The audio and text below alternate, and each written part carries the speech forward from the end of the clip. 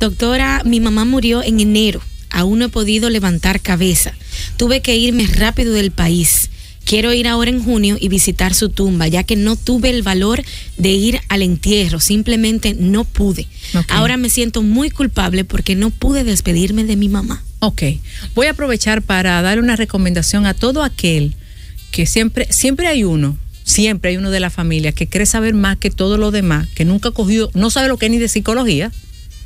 Y el que dice, fulanita de tal no debe de ver a mamá, sí, que se va a poner mala, que se ponga mala. Que se ponga mala.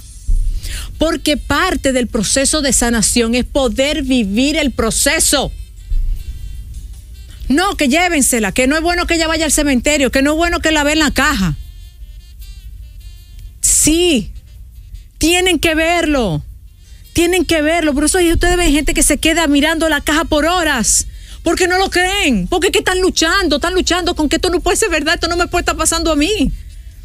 Entonces, con negarse, porque aquí en República Dominicana, déjenme decirle, déjenme contarle, cada vez que yo voy a un país, lo primero que yo pido antes de llegar al hotel es ir a su cementerio. Y cada vez que voy a un pueblo de mi país, lo primero que hago es ir al cementerio, que casi siempre quedan en las entradas. El cementerio habla del pueblo, ¿verdad? El cementerio me dice cómo es ese pueblo. Aquí hay cementerio, te puedo hablar del de Jarabacoa, que es una belleza. Bellísimo. ¿Por qué? Porque la gente no tiene esos tabúes con relación al mismo. Ahora, tú ves el de Villa Gracia y tú te quieres morir. Mm, miedo. Da miedo. Es como tira eso ahí. ¿Por qué? Porque este es un pa- país, porque hay que decirlo, aunque no nos guste, mágico religioso, que los cementerios lo que lo usan es para usar droga o para hacer brujería. No para ver sus seres queridos. Que ahí está el cuerpo, que ahí no está su alma. Eso es su pensar, pero aunque usted no lo crea, cada vez que usted va al cementerio, usted comienza a recordar ese día quienes estaban con usted. Conchole, conmigo estaba. Mierda, yo recuerdo, Rocío estaba conmigo y ella me abrazó.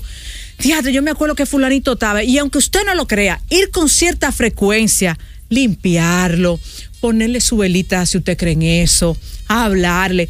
Hay gente que le canta cuando un hijo. Eso no está mal. Así es. Hay gente que, ejemplo, en estos cementerios privados comen Sí. y eso no está mal.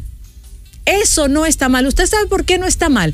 Porque eso es parte de la vida. Eso es lo que te está diciendo lo que nosotros los seres humanos somos. Y este país quiere negar la muerte. Y lo único seguro es eso, hermano.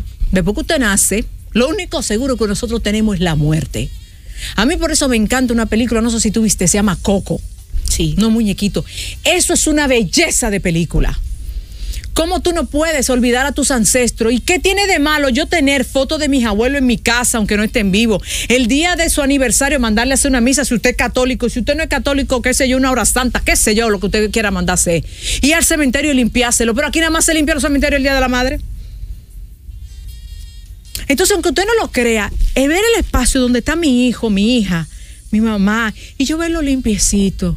Y yo saber que ahí lo que hay es un cuerpo sin vida. Pero yo y poder hablarle y decirle yo te extraño. Yo quiero estar contigo. Eso es sanador, señores, por favor.